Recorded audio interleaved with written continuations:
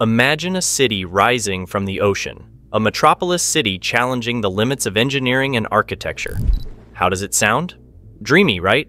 But this is now a reality. Let's explore Eko Atlantic City in Lagos, Nigeria. Get ready as we unveil the secrets, successes, and challenges behind this ambitious project that's reshaping the present and redefining the future. So let's ask the burning question How did this mega project come into being? Africa, the world's second most populated continent, is making headlines with the development of the Eko Atlantic City, which is officially known as the Nigeria International Commerce City. The city boasts an estimated value of $6 billion. But before we go any further, make sure to leave a thumbs up and subscribe to our channel so you don't miss our daily dose of informational and awe-inspiring videos. According to reports prior to this mega project, the area was a beach along the Atlantic Ocean on the coast of Lagos, situated on Victoria Island. Once the capital of the country, Lagos owned the renowned Bar Beach. At one point, it was the most popular beach in Africa. However, during the military regime, Bar Beach witnessed significant historical events, serving as the site where many armed robbers and plotters were executed. Notably, the first execution for armed robbery in Nigeria occurred on this beach in 1971. Over time, Bar Beach faced many challenges, mainly with flooding and causing damage to lives and property. The nearby Ahmadu Bello Way, closest to the beach, had to be closed several times for safety. Surveys indicated that the beachfront eroded by 8 to 14 meters annually. The journey began with a bold plan, born from the necessity to counteract the encroaching Atlantic. Now the stakes were high, and the clock was ticking.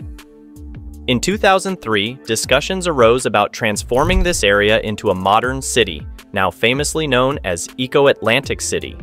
The proposed plans included a business and residential district similar in size to Manhattan's skyscraper district, spanning 10 million square meters.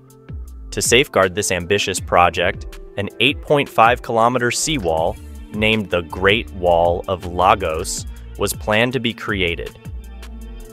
The detailed process of filling the land with sand for this city was expected to span six years, gradually giving rise to a new urban landscape along the stunning shores of Lagos. President Olusegun Obasanjo gave the green light to the project, and the construction of the new city started officially in 2008. Enjoying this video so far? Hit that like button and subscribe. You are only going to get smarter. Eko Atlantic City is huge, like really, really big. It's way bigger than other modern marvels out there.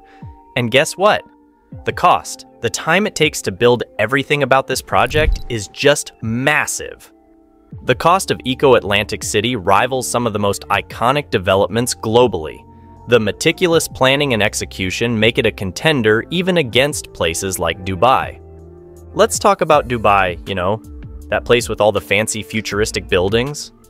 Well, Eko Atlantic City is kind of like its cool cousin.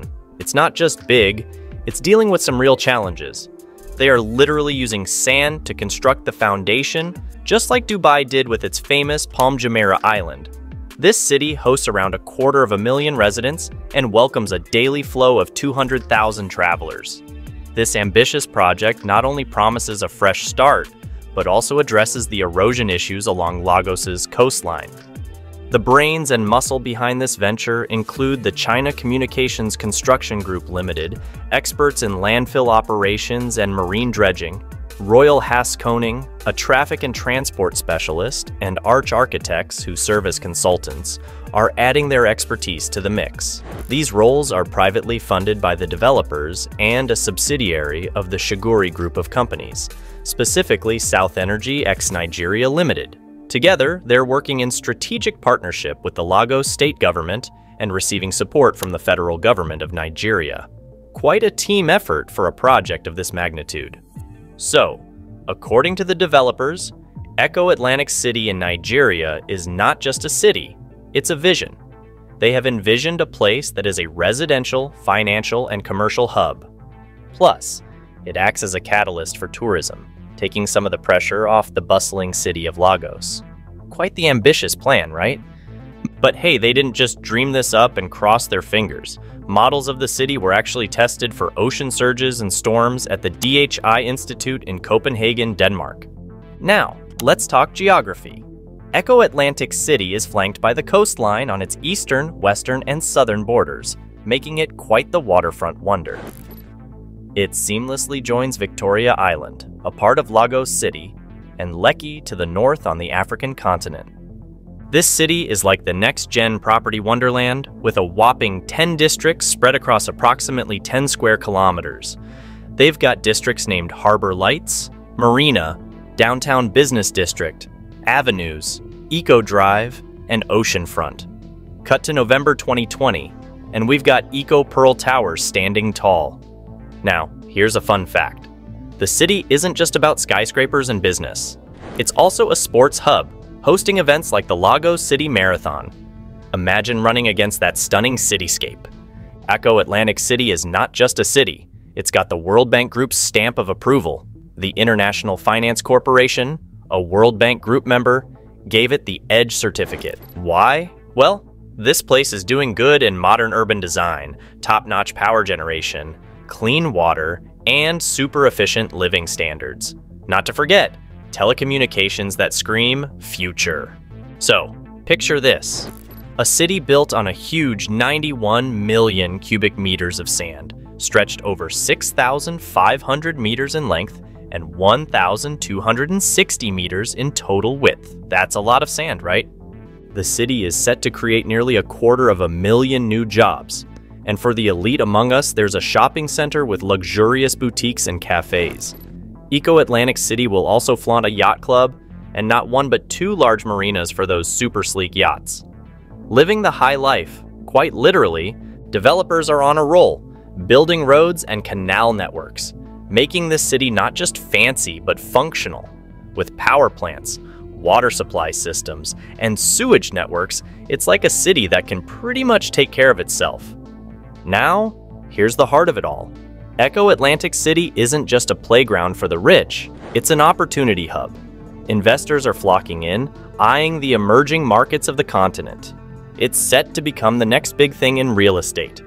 Basic necessities like electricity and clean water can be hard to come by in an overcrowded area like Lagos. But Eko Atlantic City, it's like a ray of hope, offering a chance for folks to enjoy these basic needs. In a country where 60% of the population lives on less than a dollar a day, this city is like a golden opportunity for many. It's not just a city, it's a potential game changer. Now, let's flip the coin and take a look at the not so sunny side of Eko Atlantic City. Brace yourselves because, yes, controversies are brewing. Okay, so some folks living nearby are not so happy with Eko Atlantic City, they're pointing fingers at coastal erosion and tidal waves, blaming the city's construction and access roads for flooding and gulped power poles. Imagine having to relocate because seawater decides to flow through your living room. The state government is not taking any action either.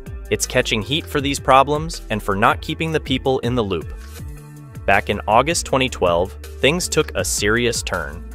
The Atlantic Ocean swelled up, flooding areas, and nearly 16 people got swept into the ocean. It was a tragic event, causing loss of life and flooding places like Kuramo Beach and Victoria Island. Experts are pointing fingers at the sand dredging, a process that swiped millions of cubic meters of sand from its natural setting. This meddling with the ecosystem is stirring up trouble, altering ocean currents, and causing headaches for communities near Eko Atlantic. Over 25 meters of land have been washed away, and the ocean floor is looking like Swiss cheese with deep craters. Environmental experts are shaking their heads, saying these ocean surges happened because the contractors handling the landfill activities messed up. But hey, they also say we can reduce the impact with some nifty measures. Now, political drama enters the scene. The People's Democratic Party, in an official statement, slammed the brakes on the Eko Atlantic project. They called for a stop and immediate compensation for suffering families and threw some blame at the Action Congress, the political party running the show in Nigeria.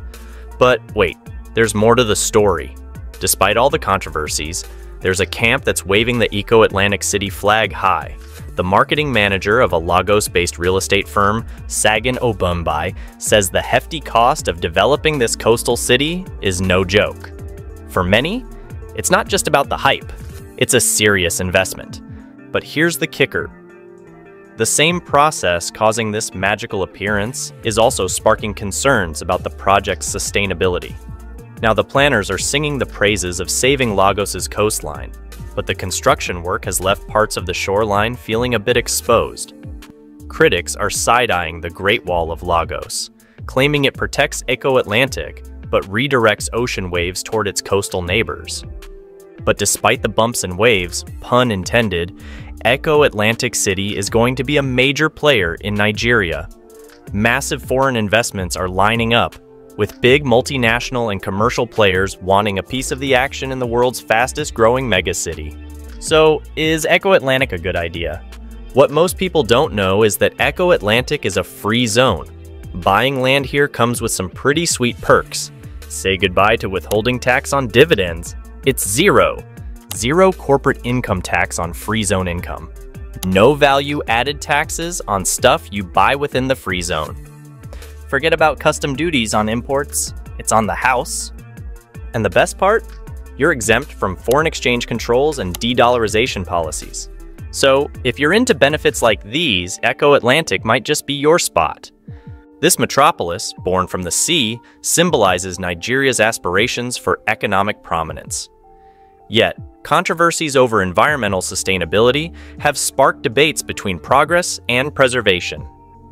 It stands as a testament to human ingenuity and the challenges faced in reshaping landscapes. The journey unfolds with both applause and concern, making Eko Atlantic City a fascinating megastructure in urban development. Share your thoughts in the comments below. If you enjoyed this exploration, don't forget to hit like and subscribe for more captivating stories. Until next time, stay engaged and stay curious.